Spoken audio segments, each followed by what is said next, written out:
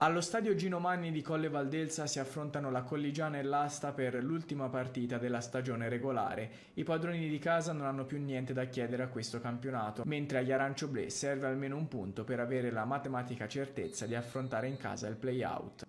Il primo squillo della partita è della Colligiana con Cianciolo che prova il mancino dalla distanza, la palla sfila fuori di poco. Si fa vedere anche l'asta che sfonda sulla destra, poi il suggerimento è per Gabriele Mazza che tenta una soluzione a metà tra un tiro e un cross ma colpisce male. Ancora pericolosa la colligiana con il cross dalla destra di Gambassi, Mussi è tutto solo ma manca l'appuntamento con il pallone. Di nuovo l'asta in attacco al ventottesimo con Gerard che recupera palla testardamente, il 7 attacca e poi prova il tiro con il sinistro ma Gambassi respinge. Marabese poco dopo la mezz'ora controlla tra le linee e calcia con il destro ma spara troppo alto. Ancora Colligiana al 33esimo, il passaggio dentro al volo di Barontino è per Mussi che ci prova ma sfiora soltanto e la palla va fuori.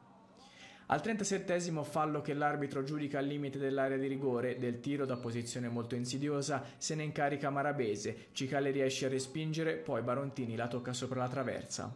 A fine primo tempo l'asta la sblocca con la bella imbucata di Pugliese per il taglio di Gabriele Mazza che a tu per tu con Petrucci non sbaglia e di piatto fa 1-0.